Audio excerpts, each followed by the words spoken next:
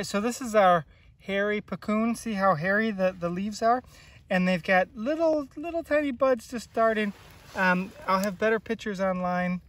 Um, they'll be. You see the hairs. It's a little wet. Yeah, the hairs are, but but you can see, maybe some of these are a little. Mm -hmm. um, yep, you can definitely see it.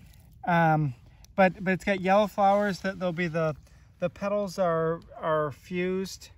Um, so they're five. So it's a corolla with five lobes, and it's the hairy leaves, and it is. Um, oh it's a special plant. I, the first year I came here, all the, the there was a, a school kids here, and they're like, "Oh, it's the hairy puccoon!" Uh, you know, they're all excited about it. So it's one of the the excited plants at the dunes, if you will.